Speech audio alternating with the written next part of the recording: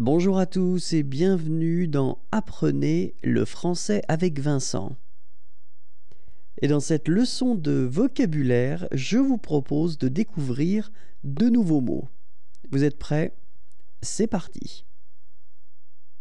Accident chimique. Accident de transport. Accident domestique. Accident du travail. Accident nucléaire.